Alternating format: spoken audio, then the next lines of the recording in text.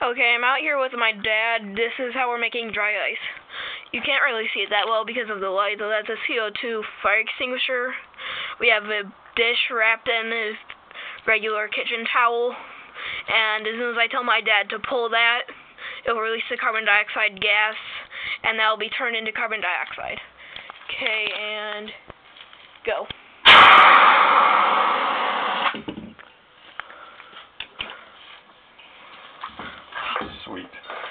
Yeah. Okay, now let's go in. That's.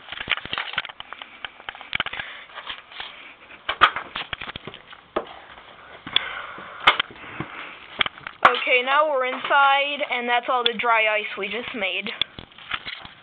And some in that bowl.